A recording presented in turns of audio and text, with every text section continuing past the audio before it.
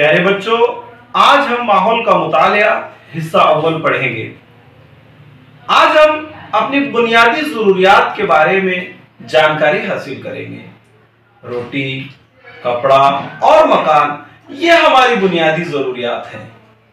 आज हम सबक नंबर सत्रह, लिबास हमारी ज़रूरत, ये सबक सीखेंगे। तस्वीर में मुख्तलिफ़ किस्म के लिबास दिए गए हैं। इनका मुशाहिदा कीजिए।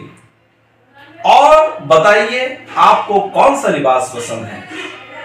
लिबास से सर्दी, गर्मी और बारिश से हमारी हिफाजत होती है।